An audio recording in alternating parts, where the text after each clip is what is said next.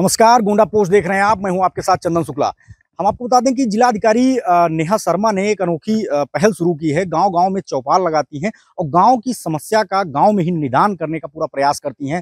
हम आपको बता दें कि इसी कड़ी में उन्होंने रुपईडी ब्लॉक के ग्राम पंचायत सहजनवा में चौपाल का आयोजन हुआ था और यहाँ पर एक दिव्यांग व्यक्ति जिलाधिकारी के पास पहुँचते हैं और उनसे गुहार लगाते हैं कि हमको चलने फिरने में बहुत समस्या होती है, हमको एक ट्राईसाइकिल उपलब्ध करवा दीजिए। ऐसे में आपको बताएँ कि जो दिव्यांग सशक्तिकरण अधिकारी वहाँ पर मौके पर उनको तलब किया जाता है डीएम के द्वारा उनको फटकार भी लगाई जाती है कि इनको तत्काल आप ट्राईसाइकिल उपलब्ध कराएँ।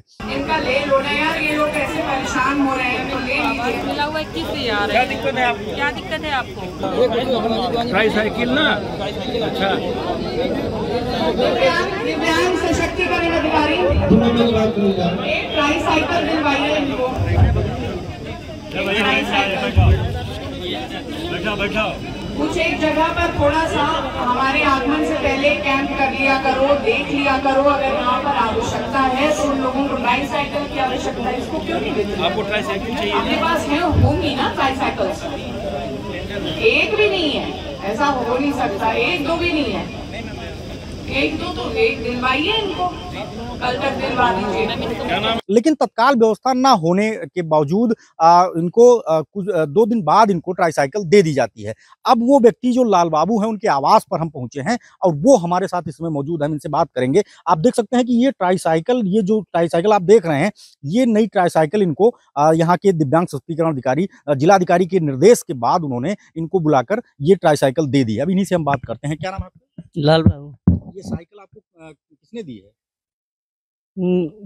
बाबू दिहनी गोंडा के। तो आपको बुलाया गया था? हम्म। उस दिन क्या हुआ था? आपके गाँव में आई थी जिलाधिकारी तो आपने क्या जिलाधिकारी से कहा हम कहन कुछ ना वही कागज़ बनवाया ना ऑनलाइन करवाए रहे वही मैडम जी का दे दी ना। बस वही के ज़रिए वहाँ से फ़ोन आया गोंडा से कि आप चले आओ तब गए ना हम। तो आपने उस दिन जब चौपाल में जिलाधिकारी आपके गाँव में आई थी? हम्म, पंचायत भवन में? तो आप गए उनके सामने आपने आप उसमें दिख रहा है कि आप ऐसे किसी तरीके से चल कर गए और क्या कहा आपने तो कहे कि इनको साइकिल दे दो। तो हम मोटरसाइकिल के फार्म भरे ना हाँ। तो उन्हें मिला तो कहन कि यही ले जाओ बैटरी वाली का आपने फॉर्म डाला था। आपको कैसे बुलाया गया? किसने बुलाया? यहाँ लाकर दिए हैं कि आपको बुलाया गया? नहीं हमें तो गंडम साहब फ़ोन किए ना तो हम गए ना। साहब फ़ोन किए थे? अब उनका तो हम ना अच्छा, साहब फ़ोन किए तो आप गए। कैसे गए आप? गौवा के जने लेंगड़ू हैं ठाकुर तो वही कह रहा हम गए ना। तो आपको फिर उन्होंने दिया तो आपने कहा नहीं कि हमको बैटरी वाला दीजिए कहन ना तो कहन कि ओके बजट आई हाँ। तो फिर कहबे तो ले जाए। क्या कहना चाहेंगे? जिस प्रकार से आपको ये साइकिल मिली अब आप चलने फिरने में आसानी होगी क्या कहना चाहेंगे? अब ठीक है साहब चले फिर तो बढ़िया है हमें। हम्म दिक्कत तो हमें ना है कुछ। मगर अब वो मिल जाए तो हमें आसान हो जाए साहब। वाली अगर मिल जाती। ये आप देख सकते हैं कि ये लाल बाबू हैं, इनके आवास पर हम पहुँचे हैं। बारिश भी हो रही है। हम आपको बता दें कि जिस प्रकार से इन्होंने यहाँ चौपाल का आयोजन होता है और ये गुहार लगाते हैं जिलाधिकारी से और जिलाधिकारी तत्काल एक्शन में आती हैं। हालाँकि वहाँ दिव्यांग सशक्तिकरण अधिकारी जो थे उनको फटकार भी लगाई उन्होंने और कहा, तत्काल आप पहले क्यों नहीं इस तरीके के मामलों को आप देख सक, देख लेते हैं? ऐसे जो पीड़ित हैं, जिनको जरूरतमंद हैं, उनको आप क्यों नहीं उपलब्ध करा देते हैं? लेकिन मौके पर जो ट्राईसाइकिल थी वो मौजूद नहीं थी। उसके बाद में इनको बुलाया जाता है और बुलाकर इनको ये ट्राईसाइकिल आप देख सकते हैं अभी ये आप हट जाए यहाँ से बारिश होने लगी है। नहीं भीग जाएँगे। तो इनको ये ट्राईसाइकिल उपलब्ध करा दी जाती है। जिस प्रकार से इनको ये ट्राईसाइकिल दी गई हालाँकि अभी इनकी समस्या का पूरी तरीके से निदान नहीं हुआ है क्योंकि इनको बैटरी वाली साइकिल चाहिए क्योंकि ये अभी देख लीजिए युवा हैं इन, इनको दूर दराज कहीं जाना होता है तो बड़ी समस्या होती है। अगर किलोमीटरों का सफ़र तय करना हो तो बहुत बड़ी समस्या इनको होती है। ऐसे में इन्होंने गुहार लगाई थी कि इनको बैटरी वाली जो होती है साइकिल वो इनको उपलब्ध हो जाए।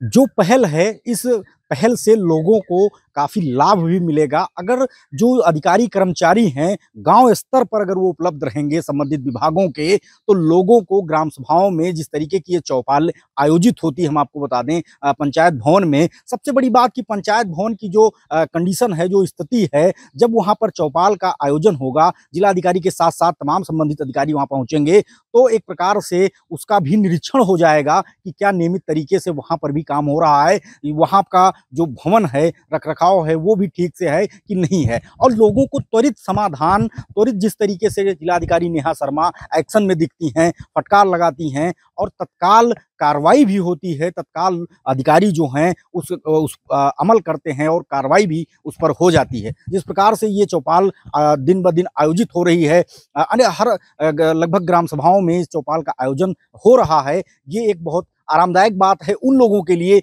जिनको एक छोटी सी समस्या के लिए तमाम समाधान दिवसों में मुख्यालय तक पहुँचना पड़ता है। दूर दराज से हम आपको बताएँ कि जो सहजनवा है, ये बिल्कुल बॉर्डर का गाँव है, आप यहीं से बस बहराइच शुरू हो जाता है। तो इस प्रकार से यहाँ से अगर लोग जाकर मुख्यालय पर छोटी छोटी समस्या, जैसे कि आप लाल बाबू की ही बात ले लीजिए, अगर ये वहाँ जाकर अपनी समस्या बताएँगे और वहाँ ना जाकर यहाँ पर अगर इस तरीके से उनको जिलाधिकारी मौजूद मिल जाए, मिल गई तो ये एक बहुत ही लाभ की बात है, बहुत आरामदायक बात है कि जिस तरीके से इनको लाभ मिलेगा, ये कहीं भटकना नहीं पड़ेगा ऐसे व्यक्तियों को, या कहें कि आमतौर पर जो लोग हैं, उनको ज़िले पर जाकर, वहाँ पर अधिकारियों से मिलकर, लंबी लाइनों में लगकर अपनी समस्या की गुहार लगानी पड़ती है। आप देखते रहें गोंडा पोस्ट, नमस्कार।